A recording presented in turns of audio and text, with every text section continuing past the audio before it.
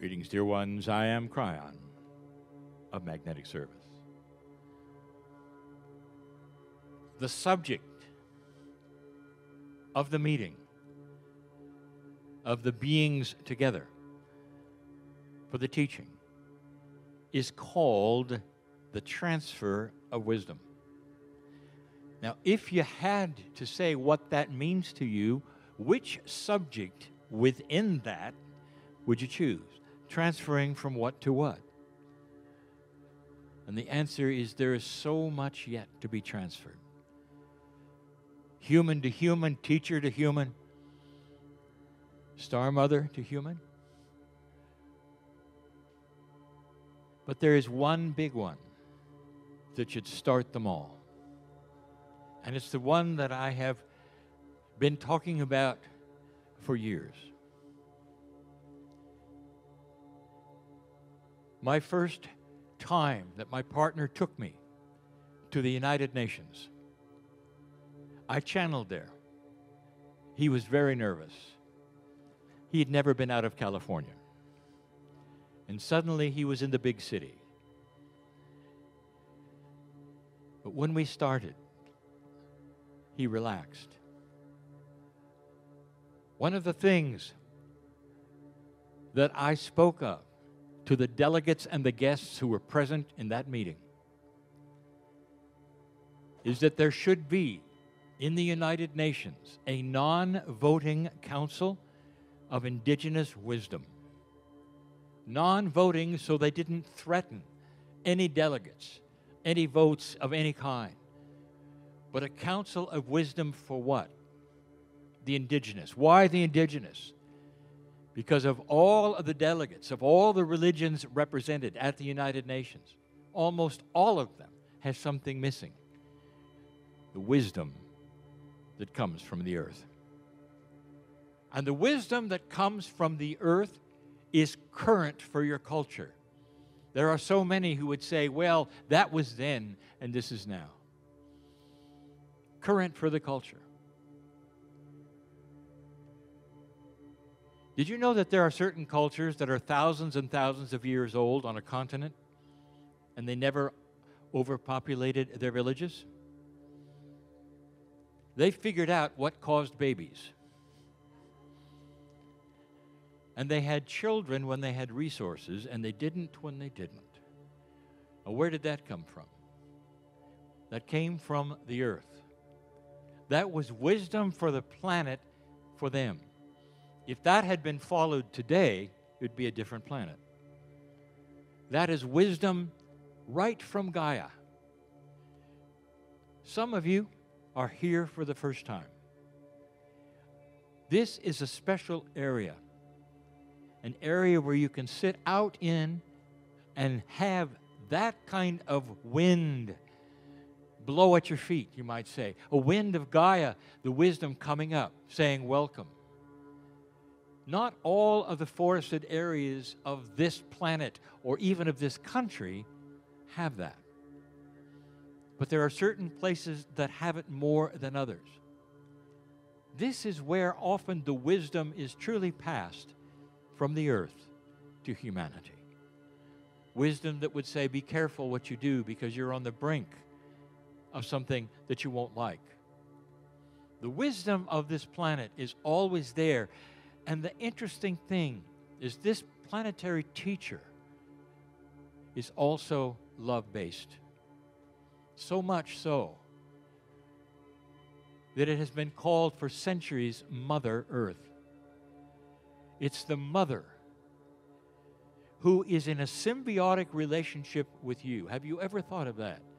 Do you take it for granted that you breathe the oxygen that Mother Earth supplies? Or that Mother Earth needs that which is the carbon dioxide that you then dispel. This symbiotic relationship is known in nature and you can see it everywhere, and it is for survival. And the interesting thing about the one with humanity is that humanity ignores it. They don't understand it, they don't even realize that Earth is alive. Very much so. Earth has a consciousness not like yours, but nature itself has a consciousness. There is much to learn, dear ones, when you go outside. That's one kind of a transfer of wisdom. The wisdom of the ages has gone right into that which is the indigenous all over this planet, and there's enough of them left that you could sit at their feet and learn a great deal about what this planet has to say to help humanity in the next step. Part of an ascension consciousness for all of you is to realize that this is needed, that it's missing. Isn't it interesting that the organized religious plan, if you want to call it that, of, of, of most of the earth is not even there. There's no understanding that is there. So, where does this fall next? it falls to you who are starting to awaken to a grander truth, awaken to a light, teachings that are different uh, uh, an entire paradigm of existence that is different. This is the time for so many things to be learned. Question What do I start with? There's so much here, perhaps you haven't heard, or that's different. What do you do next? Where do you start? The answer is beautiful. You don't have to know. Each one of you is unique and will respond to what is next for you. If you have the courage to sit at the feet of Spirit of the mountain and say, Tell me what's next, show it to me. You don't have to plan it, you don't have to figure it out. It's not something that is needed for you to know. For years, I've been saying, you have such sophisticated automobiles. But when you get in them, aren't you nervous? Don't you have to find the manual to find out how it works? And the answer is no. You just get in and go.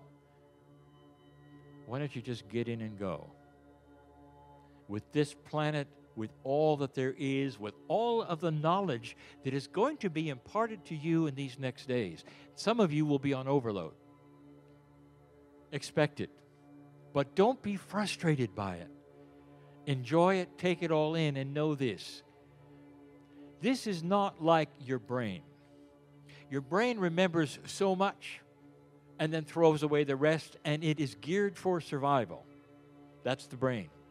But the heart, and that is a metaphor, the consciousness that you have doesn't come from your brain. This is now starting to be proven. Your consciousness comes in with you from your soul. It is limitless in the things that it will respond to and remember and achieve.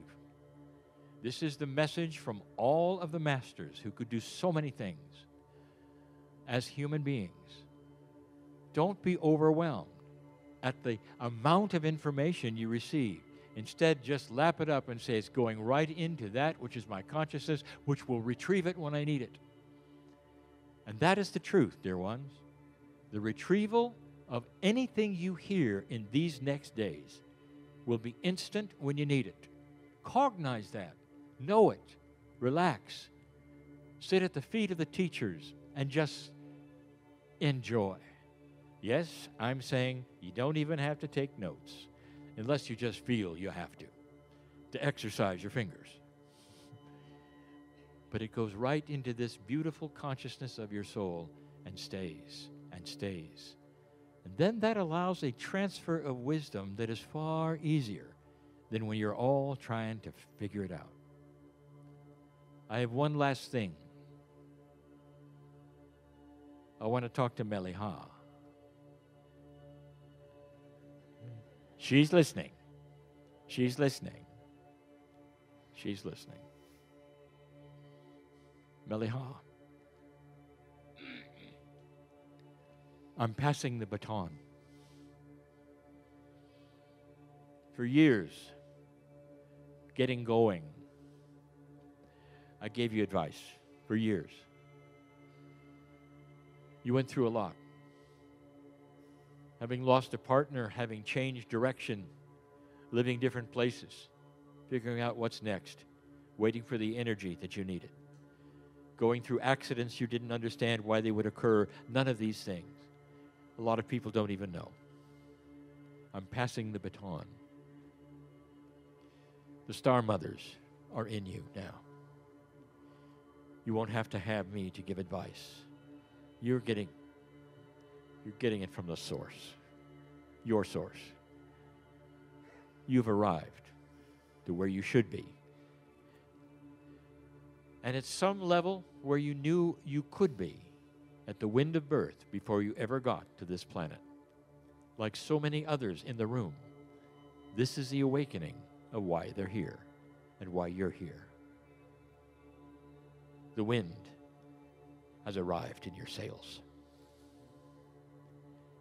And so it is.